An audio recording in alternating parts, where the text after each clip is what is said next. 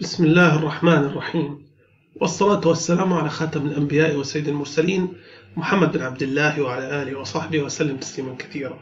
استكمال موضوعنا فيما يخص الدراسات في الدرات الكهربائية أتناول في هذا التسجيل المكثفات أو بين الموسعات طبعا المكثفات الموسعات مقصود فيها في الدرات والكاباسيترز.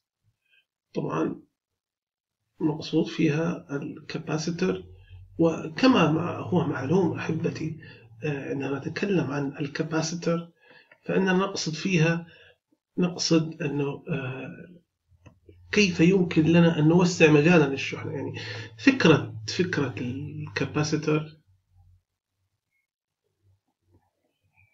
يعني الترجمات بالعربية الكثفات المواسعات أنا أعتقد أن الفكرة الصواب هي فكرة المواسعة لأن المكثفة المكثفة هي تكثيف الشحنة في النقطة. يعني كيف يمكن أن نكثف الشحنات في آه، نقطة واسعة. لكن أعتقد أن الترجمة الصحيحة عندي هنا الترجمة الصحيحة هي الموسعات لأنها هي تعتمد على فكرة توسعة زيادة الطول أو العرض حتى يعطيني هنا سأصبغ اللون حتى تعطيني المساحة الآريا يؤدي إلى إلى آه، آه، يؤدي إلى زيادة في مقدار الشحنة. يعني هنا أحببت أن أتكلم عن هذه الجزئية. على هذه الصورة على هذه الصورة يكون أنا هنا عندي نفرض أنا عندي موجب هنا عندي سالب إذا هنا عندي سيملأ بالموجب هنا. وهنا لنفرض أن سأضعها بالنقطة الزرقاء هنا في السالب. على هذه الحكاية وعلي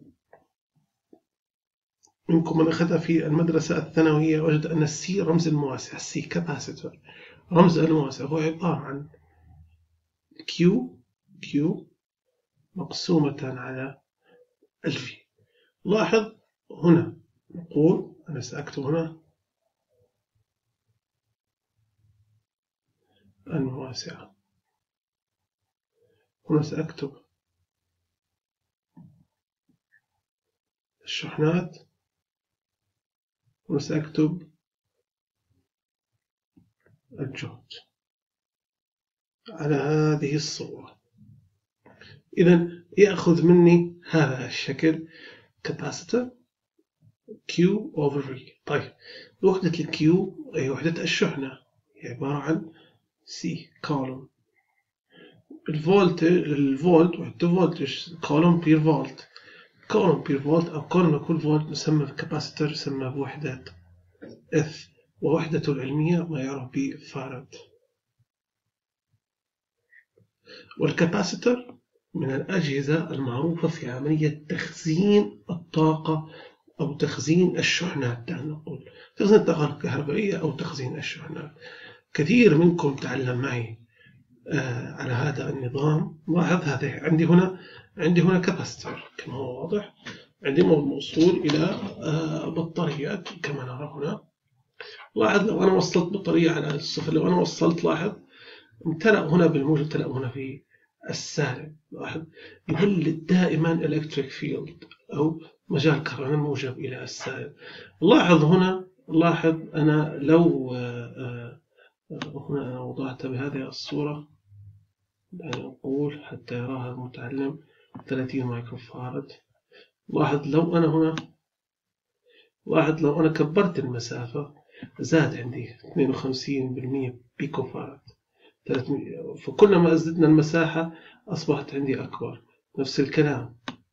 لاحظ هنا لو أنا أردت أن أقلل المسافة أيضا زادت. كبرت المسافة قلت. إذا على الطالب أن يعي هذه هذه النقاط في هذه العملية. إذا هنا إذا لو أنا وضعت لاحظ لو أنا فصلت الآن عن الدار لا, لا يوجد مصدر مغذي. آه، هنا عندي لقياس الجهد.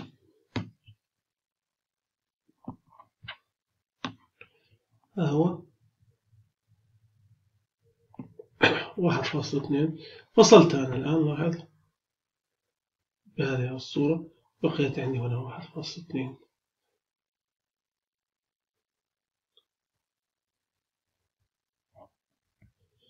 بعد هذه عندي هنا المواسعة. لاحظ هنا أنا الآن عبأت سأعبيها أقصى ما يكون. أنا هنا قصرت المسافة كلهم قصرت المسافة زادت المواسعة. كبرت المساحة أيضا زادت المواسعة. لاحظ 1.7 بيكو فارد لاحظ أنا لو فصلتها المواسعة كيف فصلتها بهذه الصورة بقيت احتفظ بها الشحنة واحتفظ بها الطاقة. وصلتها إلى دارة كهربائية بدون البطارية لاحظ وصلتها إلى هنا. لاحظ. فأعطى طاقة. ولاحظ إلى شكل الشحنة كيف أنها تنفد أو أنها تنتهي تدريجيا بهذه الصورة. إذا هو جهاز تخزين للطاقة. الكباستر جهاز مميز لتخزين الطاقة. المواسعة. قلت نفضل أن نستخدم كلمة المواسعة على استخدام كلمة آه، آه، على على استخدام كلمة المكثفة. أن التكثيف لا يحصل تلقائيا. تكثيف يتنات بالشحنة لكن هو فعليا الشحنة تأتي من خلال التوسعة في المساحة على الغالب أو في المسافة. هذه هي الفكرة. لاحظ لو شاهدنا مرة أخرى. أنا سأضع هذه هنا. سأتمنى عليك أن تراقب معي الآن. نحاول أن نفهم ما الذي يجري هنا. أنا هنا وضعتها الآن لاحظ. أخذت الشحنة. هل, هل عندي هنا هنا قراءة؟ هي. هي القراءة لأنها طبعا غير موصولة لهذا. هي. إذا هي عبارة عن واحد ونصف القراءة بين الوسطين نفس قراءة البطارية. خزنت الجهد الكامل. الآن دعونا الآن نضعها هنا. بعد هنا الصفر لو وضعناها هنا واحد. انظر آه تنتهي تدريجيا. واحد ونصف ينتقل بالكامل ليستهلك في آه في هذا المصباح. إذا هذا كله أخذناه في المدرسة. أنا حببت أن نراجع على عجالة دعونا الآن نحاول أن نعود إلى هنا. هذه عندي الآن صورة المكثفات. نقول إذا القانون كما قلنا أنه C.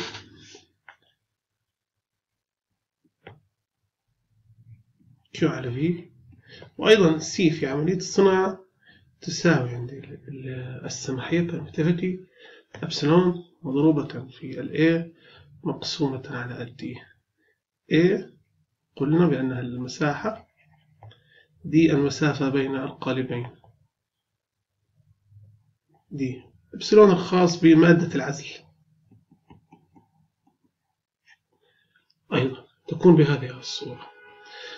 تأخذ تأخذ غالبا تأخذ الشكل اللي عندما نتكلم عن المواسع غالبا تأخذ إما هذا الشكل عمودان متوازيان معناه أنه capacitor وإما عندي هذا الشكل.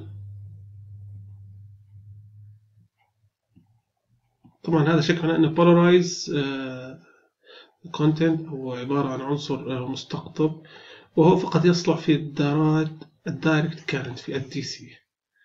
إذا كان عندي بهذا الشكل لكنها هي مواسعة حسابيا تبقى على نفس الجملة. طيب ردنا أن نستمر. نقول بأن صادع هنا وأن C تساوي Q على V لو ضربنا تبادليا نحل الشحنة ستجد أن الشحنة تساوي CV يساوي Q على هذه الصورة؟ أردنا الآن أن آه، آه، نحاول أن آه، ندخل عملية ال Q يعني هنا دعونا نقول الشحنة لو قلنا أن التيار I يساوي dQ من يذكر لكم أول أول درس أول مدى dQ على dt. إذا أردنا أن نقول أنه عندي d على dt وهنا d على دي تي. نعرف إحنا هنا الآن قيمة التيار. إذا ونحاول قدر الإمكان هنا أن نعرف ما الذي يحدث. لاحظ غالبا كما رأينا أن المواسعة ثابتة. فيكون عندي هنا عندي سأكتبها هنا في الأسفل C في على تي يساوي Q على t إذا هذه يعني إذا هذه معناها لو أردنا أن نترجم هذه الجملة. المواسعة معدل تغير الشحنة بالنسبة آه، الجهد بالنسبة للزمن يساوي معدل تغير الشحنة بالنسبة للزمن. لو أردنا أن نحلها آه، أعمق الآن. هنا. الآن نبدأ بهذا الطرف. إذا تصبح عندي I التيار يساوي المواسعة مضروبة في معدل تغير الجهد بالنسبة للزمن لأنه dq على dt هو نفسه. هو نفسه التيار. نلاحظ من هذه العلاقة بأن الكاباسيتر هي عبارة عن عنصر خطي linear نستطيع أن نتعامل معه بسهولة يسر في هذا الإطار. طيب. لو أردنا مثلا هنا أن آه، نحاول أنا عندي هنا هذه عندي مواسعة 3 ملم 3 ملم يعني والمسافة بينهما 2 ملم وقلت أني أنا آه، وددت أن آه، أحصل أردت أن أحصل على مواسعة بمقدار 20 بيكو فارد عندي بمقدار بيكو فارد أعرف أن أن الأبسلون الفراغ يساوي ثمانية وصل خمسة وثمانين ضرب عشرة آه، سالب اثناش أو بيكو فراد على هذه الصورة. طيب طلب لي أن أجد الأبسلون الخاص في الزجاج أو في المادة. أنا أردت يعني ما هي المادة التي سأستخدمها؟ بغض النظر ما هي المادة. طيب هنا مباشرة أخذ هنا أحاول أن أجد المساحة. المساحة أنا سأضعها هنا 3 ملم صفر صفر 3 3 ملم تربيع لأجل المساحة طول بعرض 3 ملم على 2 آه، ملم مضروبة. الأبسلون لاحظ هنا أو نقول أن السماحية هي عبارة عن السماحية العادية ضرب سماحية الفراغ.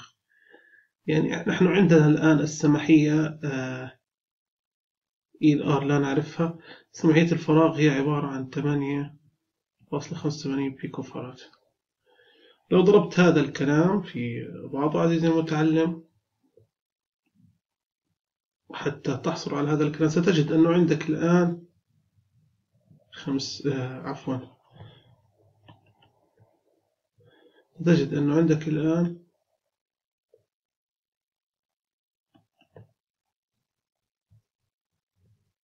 يساوي ثلاثة فاصلة.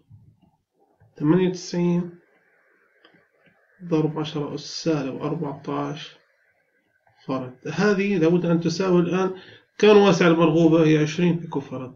إذا هذه مضروبة في إي النسبية مضروب بالعشرين بيكو أو عشرين. دعنا نقول عشرة أس سالب اثنى عشر فرد. لو حالت الآن الإبسلون الآر ساجد السماحية البرمتيفيتي عبارة عن حوالي خمسمية واثنين.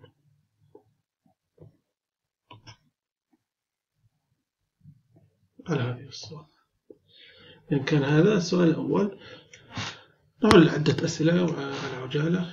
لو كان أنا عندي الآن أخذ سؤال آخر قال لي أنا عندي مساحة. يعني عفوا.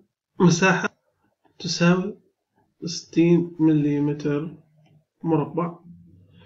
عندي المسافة المسافة بين بينهما المسافة بينهما تساوي 2 ملم مربع.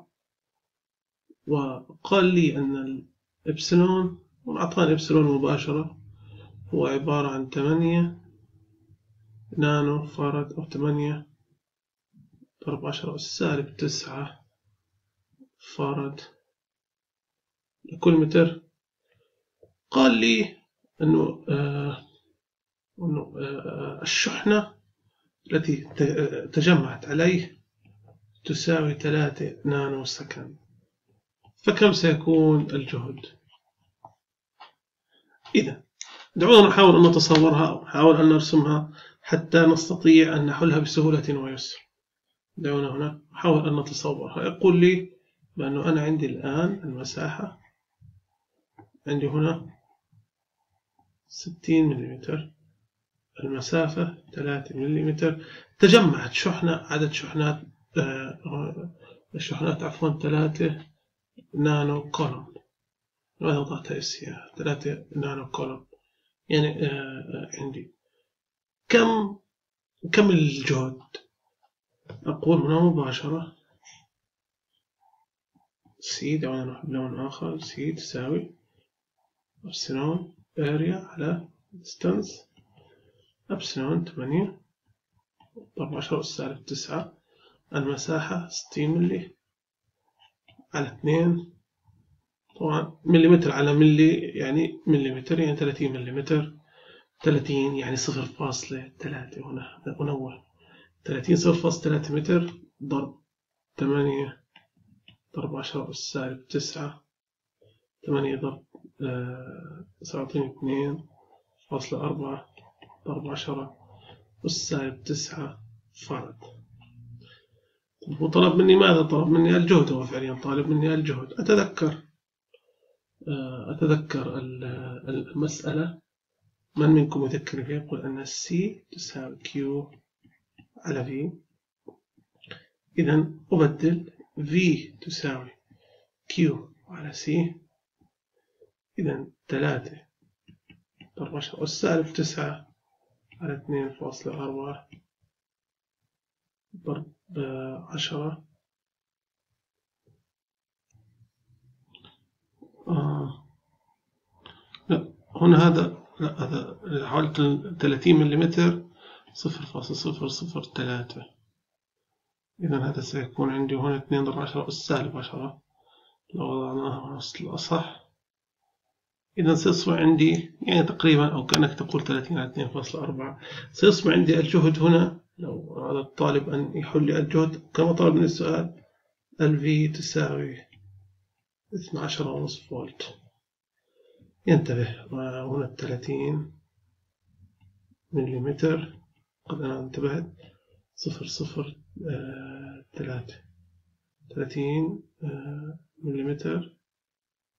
آه، هنا عفوا. بهذه الصورة حتى يصبح عنده الجواب صح. منزلة واحدة. وصفر فاصلة ثلاثة كما أنا كنت وضعها طيب نأخذ سؤالا آخر أيضا على عجالة. لو قال لي أنا عندي أيضا مرة أخرى عندي واسعة ستة متر في خمسة متر تفصل بينهما آه، مقدار ثلاثين سنتيمتر. فطلب إلي أيضا أن أجد المواسع هنا. وسعة يعني هنا الوسط كان فراغ. إذا قد هنا انتبه إلى الوحدات أقول أن المساحة ستة ضرب خمسة تساوي ثلاثين متر. هذا ثلاثين سنتي إذا سيكون على صفر فاصلة صفر صفر فاصلة ثلاثة عفوا لأنه سنتي. ثلاثين تقسيم صفر فاصلة ثلاثة يساوي مية. إذا هنا نحن وجدنا ال A على D. A على D. تساوي مئة إذا مباشرة نقول أنه آه طبعا أقل لي نفرض أنها ليست فراغ قال لي أنها فاصلة سبعة مئة. ضرب. إذا الأبسلون ستساوي ثمانية فاصلة خمسة وثمانين ضرب عشرة أس سالب اثناش ضرب أربعة فاصلة سبعة. ضرب مئة. هذه المئة هي هنا.